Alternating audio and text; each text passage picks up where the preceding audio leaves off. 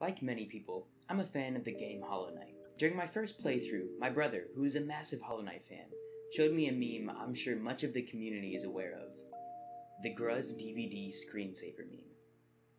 After all, Gruz's fight pattern is pretty reminiscent of it, if we're being honest. However, there is a flaw with this video. It's not infinite. In fact, it's only a half hour long, and like many programmers can relate to, why spend 30 seconds looking up a longer version when I can spend 30 minutes and create my own version? So that's what I did.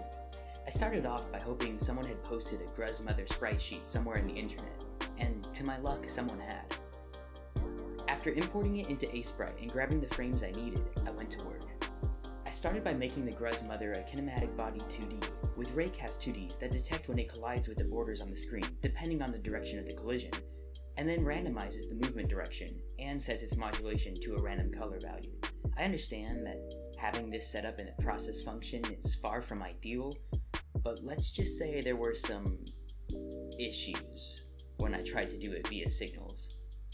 Besides, it's not like this one thing is super processor heavy anyways, so it'll be okay.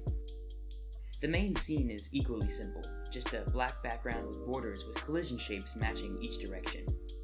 The only work I really had to do for the main scene was making a configurable settings menu, where you can change the Gruz mother's speed and turn full screen on and off.